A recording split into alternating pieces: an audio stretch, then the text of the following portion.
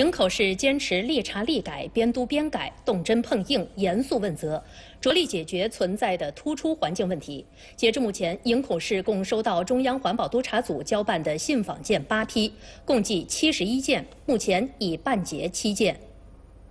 十一月七号，中央生态环境保护督察回头看营口市工作协调组向大石桥市交办信访投诉问题，反映大石桥市一石油车队院内。锅炉房冬季供暖期冒黑烟，且院子里堆了煤堆，造成大气污染。经查，中国石油运输有限公司辽宁分公司营口配送中心有一台0.1吨的燃煤小锅炉，用于冬季食堂宿舍供暖。根据大石桥市2018年十吨级以下燃煤锅炉取缔实施方案要求，2018年10月31日前应完成并网户改造，但该单位并未及时取缔燃煤锅炉。